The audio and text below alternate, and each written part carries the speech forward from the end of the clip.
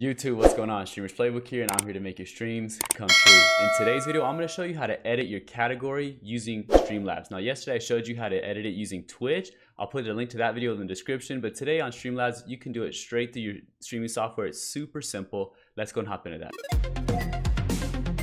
And as always, if you like that transition, OWN3D.TV, overlays, transitions, emotes, etc. They have it, link in the description. Okay, so here we are on my Streamlabs, and now there's two ways that you could edit your category on Twitch. The first one is by going up here and clicking that this little pencil icon. Go ahead and click that, and then you'll see it has title, Twitch game, Twitch tags.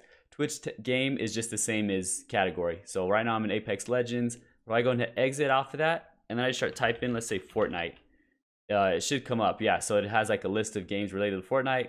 Go ahead and click on the game I like, click update, and as you can see, successfully updated.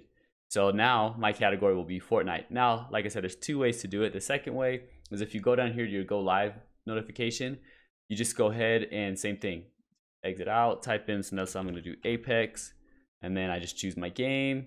And then this one though, you will confirm and go live. So there's no way to save it.